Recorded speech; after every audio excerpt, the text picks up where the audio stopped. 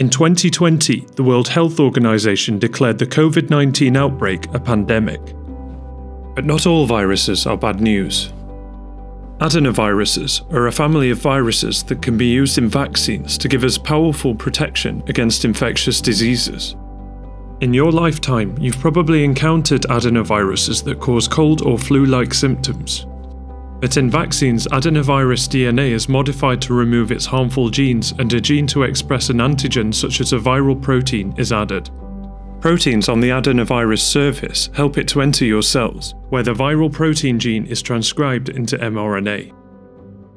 The mRNA is then translated into antigenic viral protein by ribosomes, this stimulates your immune cells to produce antibodies that help to combat a real infection. The stability of adenoviruses is helping us to vaccinate patients in a wide range of areas, helping to limit the spread of serious disease.